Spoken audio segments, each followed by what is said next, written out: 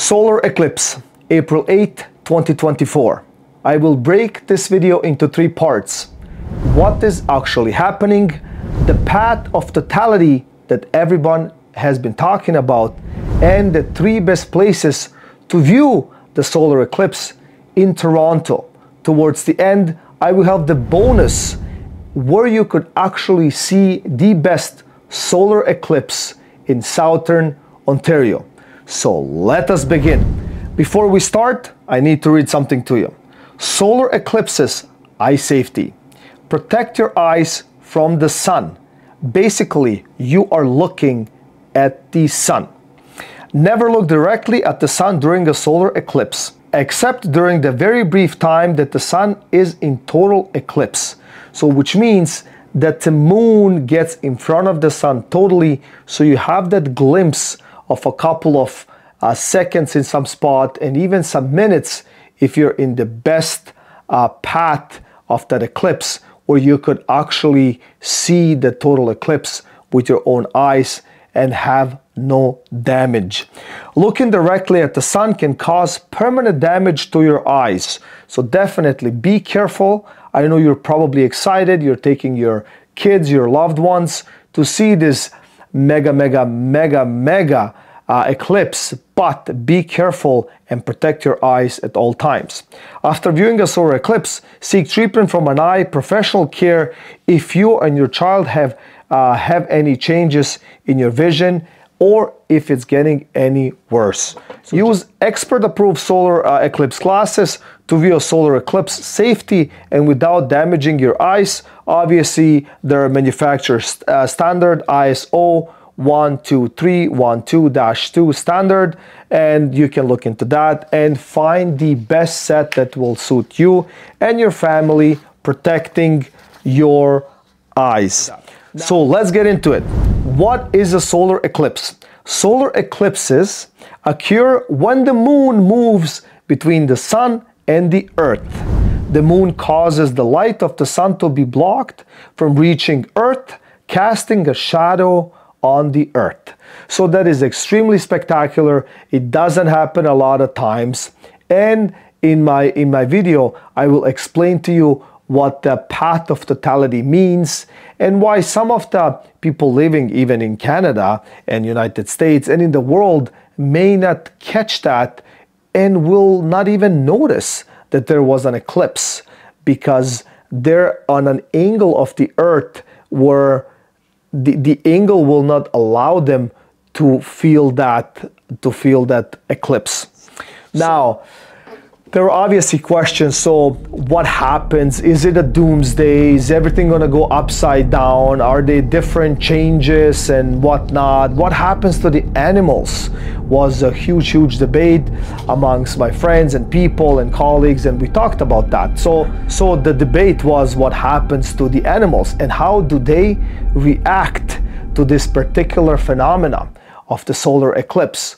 So, you know, talking to friends and, and colleagues and acquaintances and whatnot, some people are worried that it will change and that something dramatic will happen. Well, that's not the case. So, usually before the solar eclipse, there is a window of a half an hour to an hour before we see that. So, animals can sense that. So, if you see before the eclipse, uh, if you see that um, you know maybe birds are flying uh, you know out of order or stuff like that or they're flying towards a particular path or, or stuff like it's basically what that means. They're trying to find shelter and they're going to sleep because that's what happens. They think it's dawn and it will be night and they have to find shelter and they have to fly away to, to safety.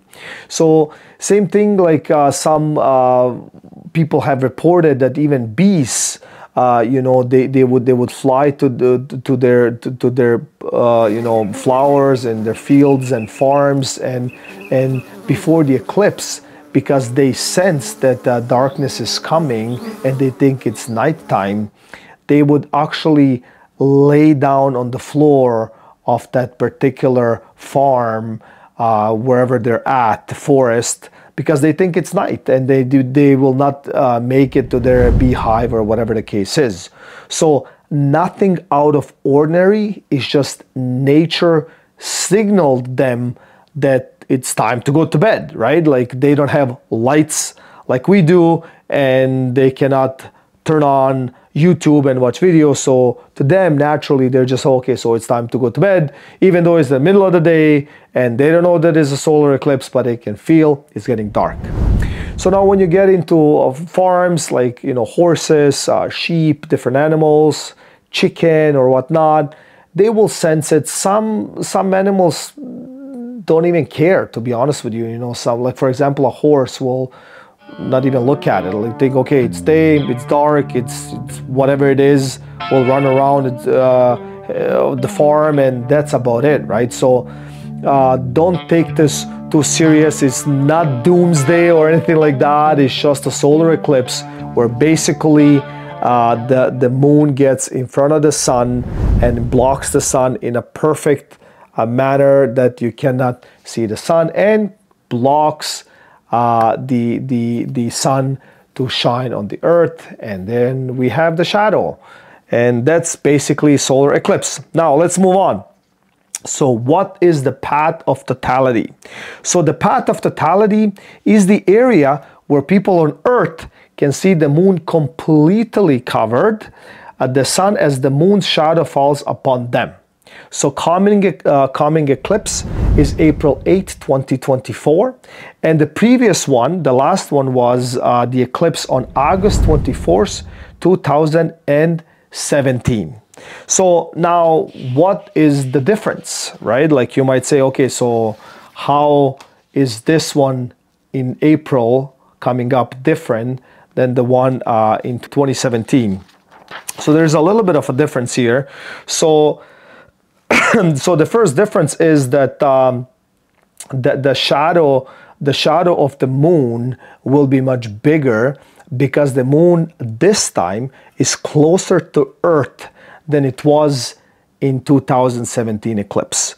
So on April 8th, the moon shadow will be swept across the United States as millions will view a total solar eclipse Many prepare for this um, uh, event and memories bringing on August 21, 2017. Having said that, in 2017, an estimated 215 million US uh, United States citizen uh, adults, that's 88%, uh, have seen the solar eclipse either directly or electronically somehow. So it is interesting. Uh, I will pull up the map right now and you will actually see the difference. Uh, so if you look at the map, uh, now the path, like it's completely off and it's obviously completely different. Uh, but this path on 2024, you can see it is much, much wider. So uh, the path will range uh, somewhere between 62 to 71 miles wide in 2017, as we can see on this graph. Uh, but in April, coming up now in 2024, it will be 108 to 122 miles wide. That's a huge difference. That's almost double because the moon is so much closer to Earth than in 2017. Having said that, it is recorded uh, that only 15 total solar eclipses have been recorded in the last 150 years uh, in the United States. So now you're asking me, so okay, so after, after April the 8th, 2024, when is the next solar eclipse? So the next solar eclipse will be on August 2044 by estimates of NASA. So, so we have uh, 20 years until then. So mark your calendars. So let's get into the best, uh, uh, the best locations in Toronto where you can take your family and where you can watch the solar eclipse. Now, the number one obviously is the CN Tower. Uh, you I, I, would you should definitely pick up your phone and try to book some tickets or book your seats because it, it will be full uh, and and you should definitely book the seat if you want to go to the CN Tower. The second one on the list is the Toronto Metropolitan University, and they will have an eclipse watch party.